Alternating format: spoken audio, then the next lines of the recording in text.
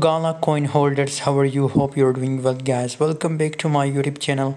Before starting this video make sure to subscribe channel if you want to join my telegram group guys.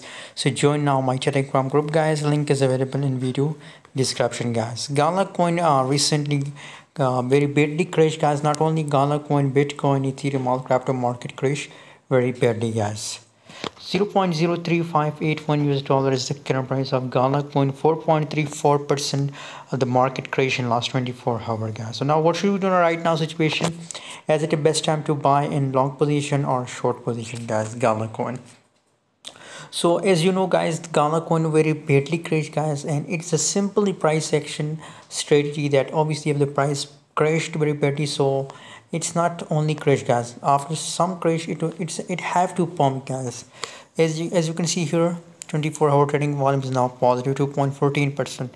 So guys big possibilities for Gala coin that it will pump for a short time period guys. So in this time period if you want to buy in, in long position so I think it's best time to buy in long position guys. Thanks for watching. See you in next video. Don't forget to subscribe for more videos